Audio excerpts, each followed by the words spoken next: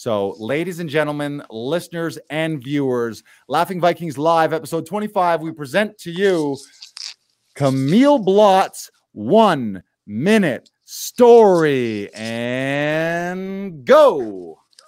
Okay, so my name is Camille Blott. I was born and raised in rural southern Alberta in a tiny town called Claire's Claresholm. And I fell in love with singing and acting when I was four or five years old. I did lots of community theater growing up. Shout out to my parents for driving me around to all the different theaters in southern Alberta.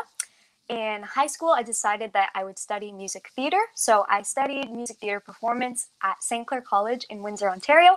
I moved to Ontario as soon as I graduated high school, did my three years there, and then as soon as I graduated from there, I moved to Toronto. I worked professionally in theater for a year, and then I wanted to try out film and television. And since then, I've been doing lots of on camera work film, television, commercial, hosting, online streaming, you name it. And now songwriting as well. So I've been at it for a while, but it keeps evolving as I go. Well done. Nailed it. Another Thank you. flawless one minute life story.